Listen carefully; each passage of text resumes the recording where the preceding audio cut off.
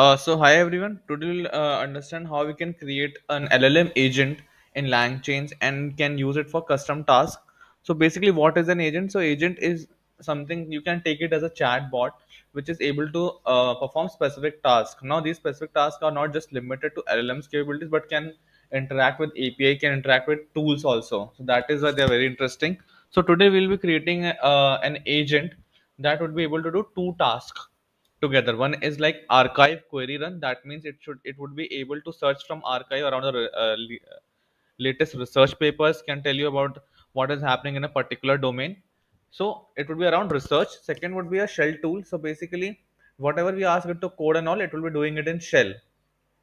So let's get started.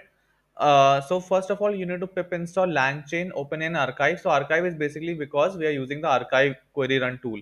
If you are not using it you can skip that uh, and then we would be importing all the required functions. We'll be using them one by one. I'll telling you how you can use it. Next is like basically i have done this help for langchain.tool so that you can explore what are different tools that are present apart from the tool that i'm using. So there are many many tools that are present. Github gmail google search bing search playwriting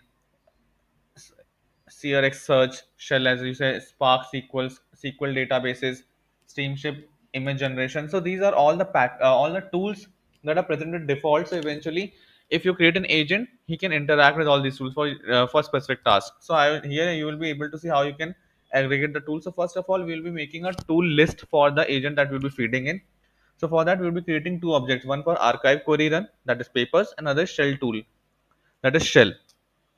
Now, uh, we would be creating a tools list which consists of two tool functions, which eventually, as you can see that we're naming the tool as papers. Function is papers.run. So basically papers is a variable which is an object for arXiv query run. And then we are giving a description. The description is important because when you are giving a prompt, so eventually the agent would be querying through all these possible tool lists that is present. So here I've used two only. You can have 10, 20. We can use multiple tools for multiple tasks. So depending upon the description, it would be choosing the tool to perform the task.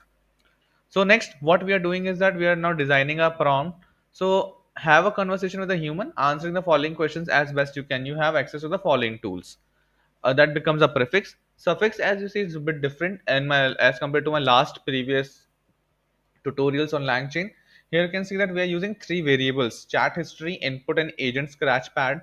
So chat history is nothing but to provide memory to the agent. So mem by memory, we mean that as you must have been interacting with the free version of chat GPT, it is it doesn't forget its previous answers and questions. It do remember that. So similar thing would be happening here also. That is the way giving it a chat history. Input is basically the prompt that we are going to give, and agent scratchpad is basically where you can see what the agent is actually doing in the background, how it is able to think and coming to a conclusion. So here we are designing the prompt using the zero shot agent create prompt. So zero shot agent is basically an agent which has no examples to learn from for the particular tools. So you haven't provided any examples to the agent to learn for that specific task. As and when you give the prompt, it will it will be giving you a result. Tools uh, we are passing a tools list here. Prefix is prefix, suffix is as you can see with three variables, and input variables are input chat history and agent scratchpad. Now conversation buffer memory that we are using, we are using using the variable chat history. So this is basically done to provide history uh, chat history to the agent.